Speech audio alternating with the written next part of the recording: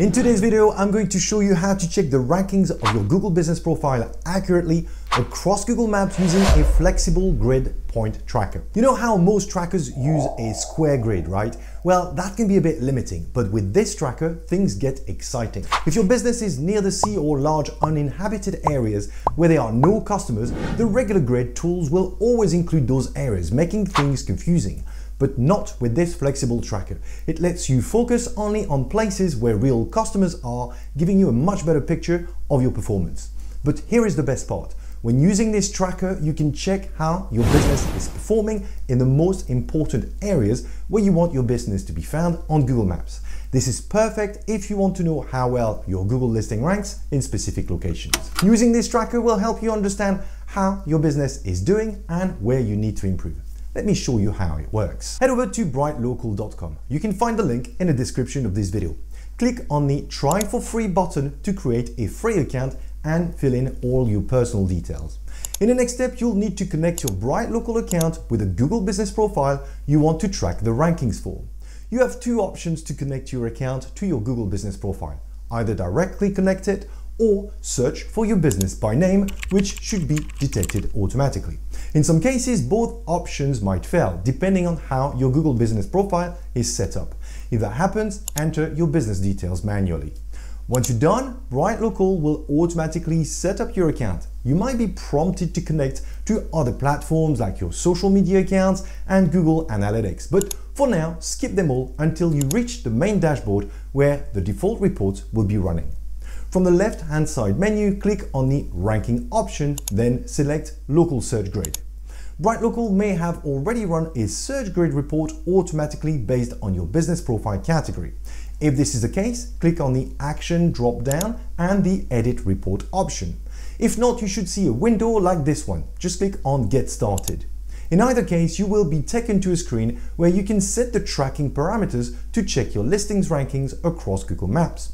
The first field is just a recap of the account name you've set up, so you can ignore it. In the next field, start typing the business name that displays on your Google Business profile and the system should detect it automatically.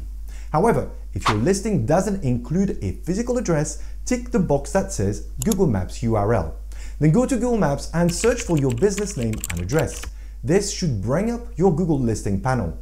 Copy the URL from your search browser and paste the entire URL in the Google Maps URL field, then click on Find. This should position a grid over the map where your business is located. Next, click on the Map Criteria dropdown and set the distance between grid points and the preferred metric system you want to use. The distance between grid points can vary depending on the competitiveness of your market. The more competitive the market, the less distance I put between grid points.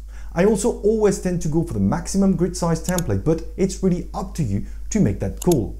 After that, add the keywords you want to track for your listings ranking performance. You can add up to 30 keywords.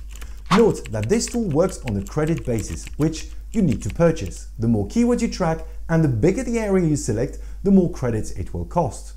The free account comes with 2000 free credits, which should allow you to track 8 keywords across 225 points across the map at a cost of 1800 credits, which I feel is quite generous. The general settings option is about how you want to name your report and whether you want to be notified by email when it's completed, but you can ignore that for now.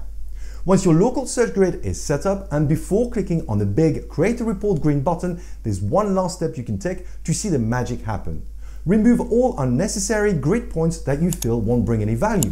This will give you a clearer idea about your listing's performance and also save you credits since you're tracking fewer grid points. To remove unnecessary grid points, simply click on them and they won't be included in the report. Once you're satisfied, click on Create Report.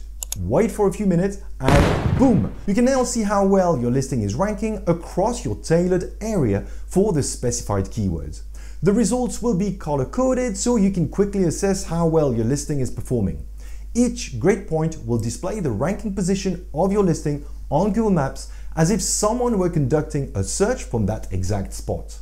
By clicking on a grid point, you can open a pop-up window that displays valuable information about your competitors, including their proximity to that grid point, the number of Google reviews they have, and their overall ratings. This feature is incredibly helpful for conducting competitor analysis. If you want to check the performance for each individual keyword, just click on the drop-down menu, select a keyword and the map will update automatically. You also have the option to download a PDF version of the full report for safekeeping. If you're targeting nearby cities or neighborhoods, this tool can be especially useful.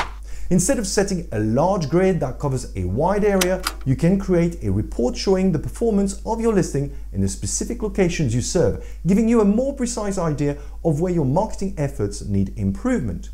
Let's take a look at an example of a plumber based in Lafayette, Indiana. The report reveals that CJ Plumbing is performing exceptionally well in the top half of Lafayette City itself and nearby cities for the keyword plumber near me.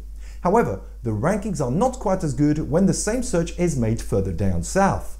This information provides invaluable insights pinpointing the exact areas where this business should focus and double down on its marketing efforts. While the tool is not free, you can make use of the 14-day free trial with the free credits provided. You don't even need to enter any credit card details.